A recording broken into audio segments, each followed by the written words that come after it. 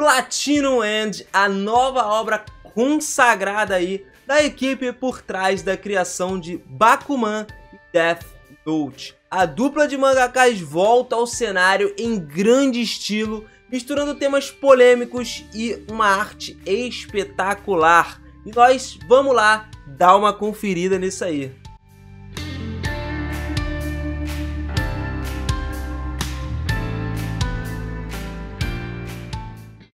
Galera, beleza? Eu sou o Minas e sejam muito bem-vindos a mais um vídeo aqui do canal. Mas antes da gente começar a falar de Platinum End, já vai deixando aquele likezão que me fortalece pra caramba. E não esquece de se inscrever no canal e ativar o sininho também para você ficar por dentro de todas as novidades aqui no Universo Otaku, beleza?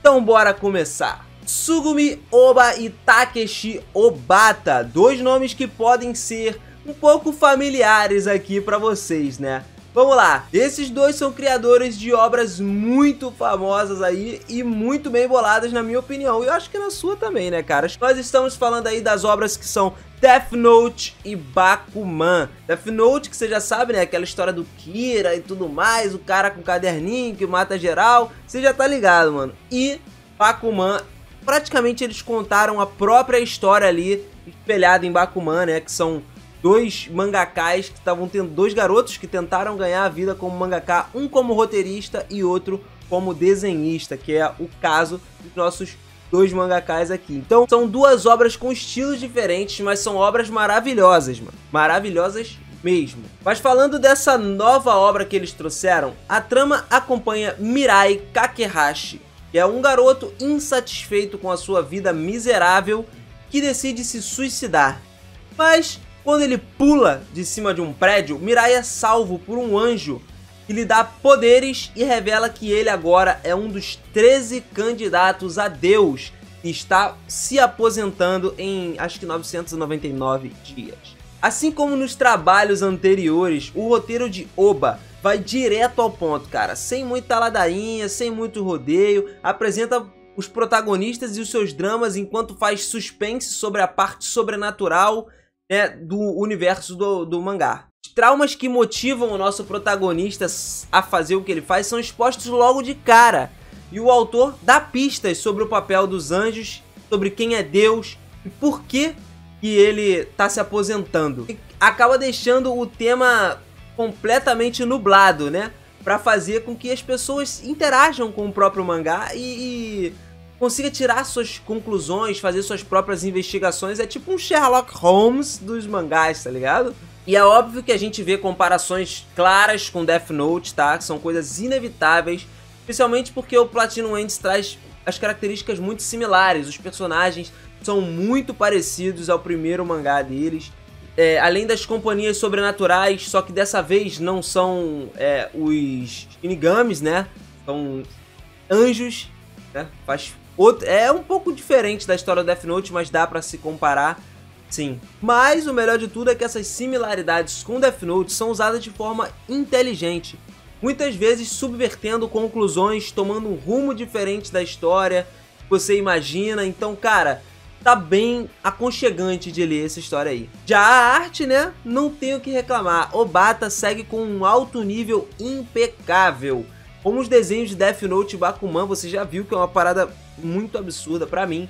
Foram dois mangás muito bem desenhados de verdade. E cara, essa trama exige um design de personagens bem meticuloso e as páginas têm que ter uma composição de quadros fluidas que dão um peso nos eventos que acontecem.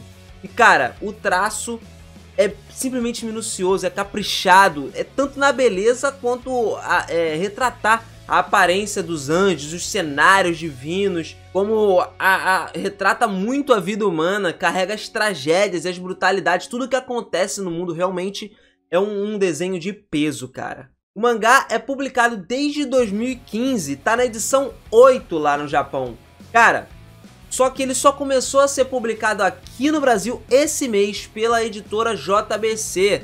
Dessa vez, traduzido para português, é claro, pra gente. Além disso, durante o festival online da Jump Fest 21, foi anunciada a adaptação para um anime, ou seja, Platinum End vai vir como anime pra gente, cara. A série está prevista para ser lançada na TV japonesa em outubro desse ano, tá? Outubro de 2021.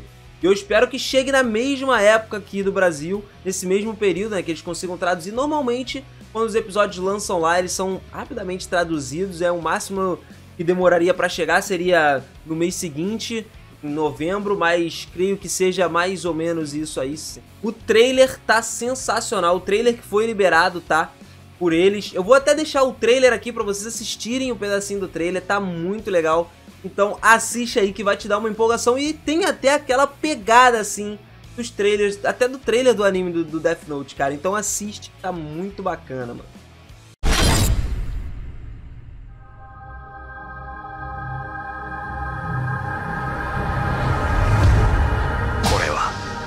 天使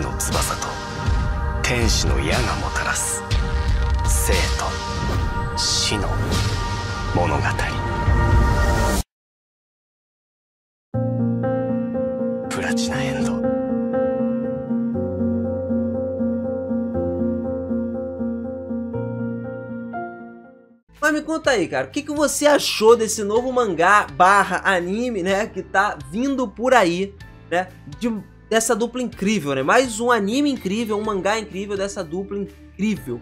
Deixa aí nos comentários pra gente dar uma trocada de ideia, conferir, conversar, mano. E não esquece de se inscrever no canal e ativar o sininho pra você não perder nada do mundo otaku. E aproveitando, deixa aquele likezão e compartilha com seu amigo também, que me ajuda pra caramba, hein? Então, deixa todo mundo por dentro. Não esquece, cara. Compartilha com seu amigo e com a sua amiga também. E é isso aí, pessoal. Tamo junto, um abraço e vejo vocês no próximo vídeo.